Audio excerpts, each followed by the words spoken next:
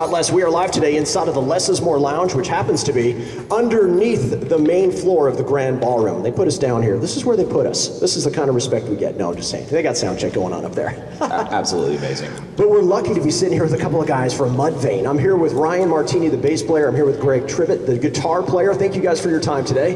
Thanks, problem. Thanks, man. And by the way, congratulations. I'm lucky enough to have already listened to the new CD from Mudvayne. The new game is fantastic. Thank you very much. you guys are so You got excited. to listen to it today? I did. Awesome. I listened to it a few times on the way down here because there was a few tracks that I wanted to uh, to play because they were some of my favorites after listening to it. So congratulations, guys! Over the last couple of years, I know you guys have been busy, kind of working towards this. And uh, tell me a little bit about the process of taking a couple of years away from Mudvayne.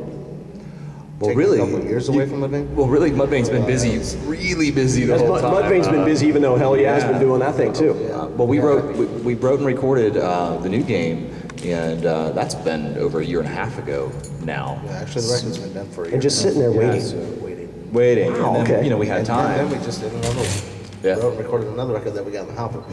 Yeah, so uh, we have been very busy. It's not like Mudvayne may have not toured. We may not have toured, but we were definitely working.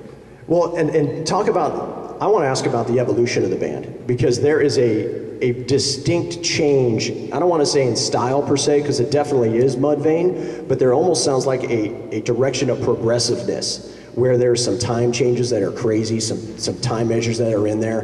There's some vocal breakdowns that change song to song. Was that a conscious effort when you guys were recording and writing this album that you wanted to do something a little bit different than you've done in the past? Uh, I think it's just maturity, man. We've been doing this for so long, touring and writing records, and I think you know we've learned that we can. It's easier to write together. I mean, at, at first it was complete chaos. Each record keeps getting a little smoother and cool. Now we know each other's kind of irks and tweaks and everything, and so it's, it's, it's. I think it's a natural progression for the band, actually.